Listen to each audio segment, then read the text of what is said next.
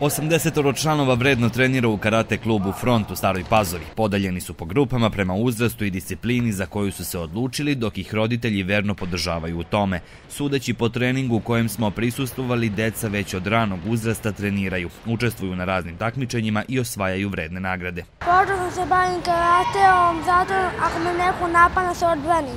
Ove godine sam počela u jednom, ne znam, aprilu, maju i tu radimo tako kate. Radimo dosta kata, kad budemo dobri onda nas trener napravi nam iznenađenje pa radimo neke igre.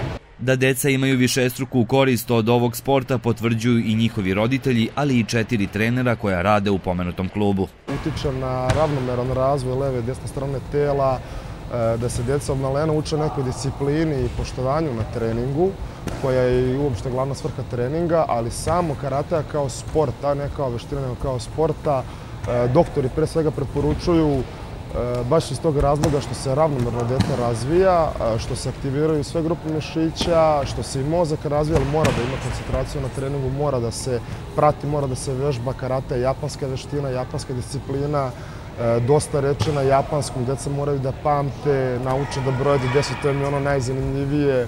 U Ninkovoj grupi gde se deca uče borbama dominiraju devojčice, ističe trener koji se trudi da im prenese svoje višegodišnje iskustvo. Reprezentacija Srbije, među kojima su i članovi ovog karate kluba, krajem januara u Kragujevcu bili su na završnim pripremama u oči prvenstva Evrope za kadete, juniore i mlađe seniore, koje će se održati početkom februara u ruskom gradu Soči.